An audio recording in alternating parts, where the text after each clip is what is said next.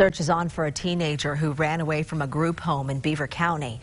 This is 13-year-old Roberto Madrigal from California. He was last seen wearing tan shorts and a brown cargo shirt. Employees at the group home believe Roberto has water, but they're in a remote area and they're worried about him getting dehydrated. If you plan to be near Pine Valley, or Rose Canyon, make sure you keep an eye out for him. About 15 people are currently searching for him. They're also using the state helicopter.